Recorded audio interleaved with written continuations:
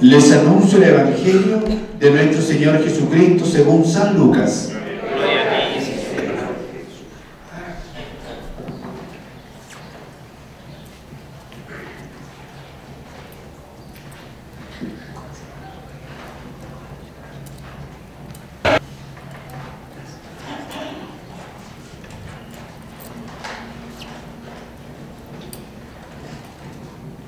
En aquel tiempo, mientras Jesús hablaba a la gente, una mujer de entre la multitud dijo en voz alta, Dichoso el seno que te llevó y los pechos que te amamantaron.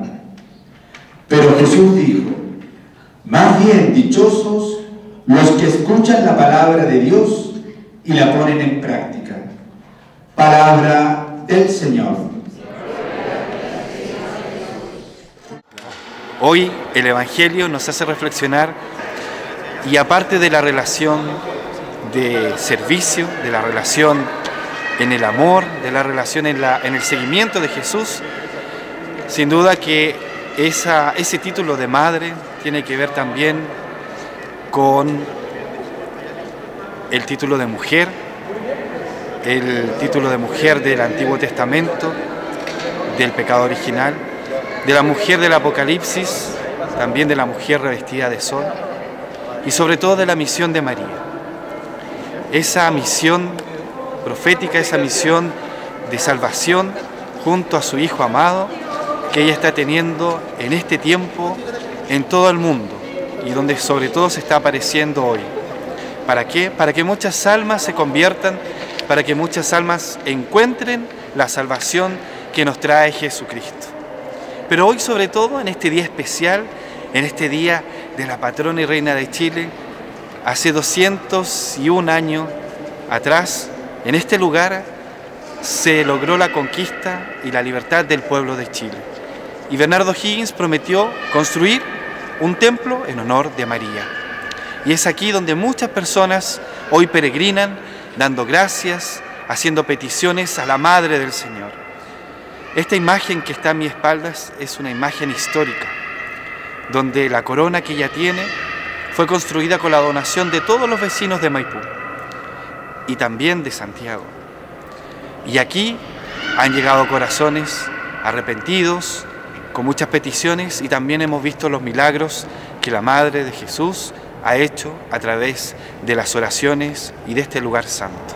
Hoy, desde acá, queremos hacer una oración hacia tu familia, hacia tus intenciones, para que la Madre, Madre de Jesús, reine en tu corazón, interceda ante su divino Hijo. Pongamos esa intención en el corazón inmaculado de María.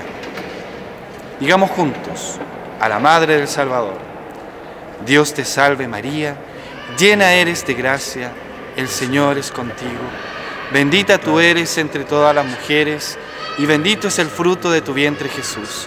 Santa María, Madre de Dios, ruega por nosotros pecadores, ahora y en la hora de nuestra muerte. Amén.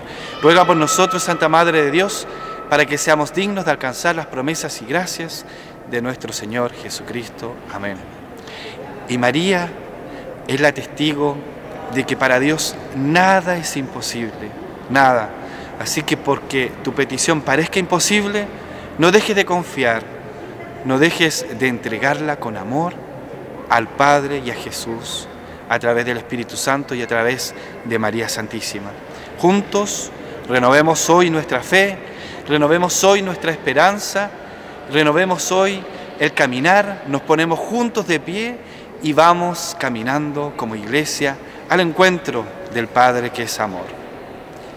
Que tengan un bendecido día y hoy de forma especial tenemos para ustedes imágenes desde la tirana. Tenemos un corresponsal que se llama Elías Guerrero que nos trae imágenes desde la tirana. Veamos. Del Carmen de la Tirana. En ella depositemos nuestras súplicas. Que el 16 de julio nos encuentre haciendo oración. Pongamos en manos de la Virgen a cada una de nuestras familias, con sus preocupaciones, con sus dificultades, con sus alegrías y sus sueños. Por nuestras familias rezamos todos. Dios te salve María, llena eres de gracia. El Señor es contigo. Bendita tú eres entre todas las mujeres y bendito es el fruto de tu vientre Jesús. Santa María, Madre de Dios, ruega por nosotros pecadores, ahora y en la hora de nuestra muerte. Amén. ¡Viva la Virgen del Carmen! ¡Viva! ¡Viva el 16 de julio! ¡Viva! ¡Viva la reina del Tamarugal! ¡Levantemos los pañuelos, los globos, para saludar este día de fiesta! ¡Viva la Virgen del Carmen! Llegó el 16 de julio. Saludamos a la Carmelita.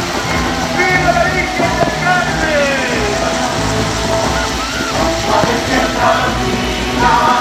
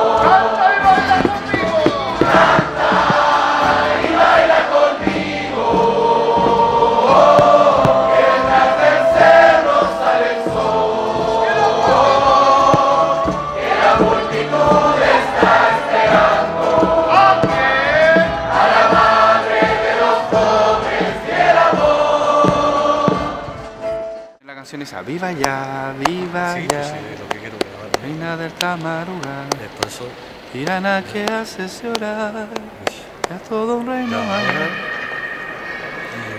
Qué hermosas imágenes desde la tirana. ¿Cómo no alegrarse de tener una reina tan amorosa, una madre que nos acompaña, que nos hace ser hijos, que nos cobija, que nos alienta, que nos renueva la fe, la esperanza, el amor? Tanta gente que peregrina a ese lugar santo llevando sus intenciones y nuestra madre con mucho amor las recibe, las acoge y se las presenta a su divino Hijo, nuestro Señor.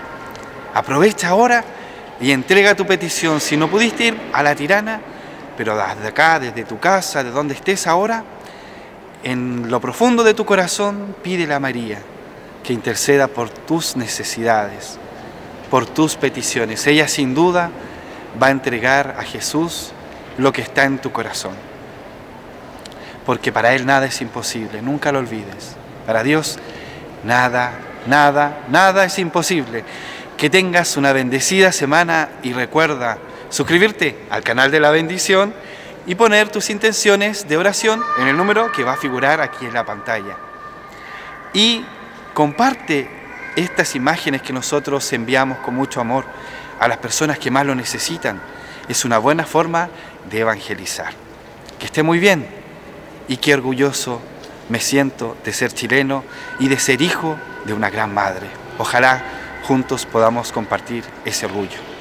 Que tengas una bendecida semana. Chao.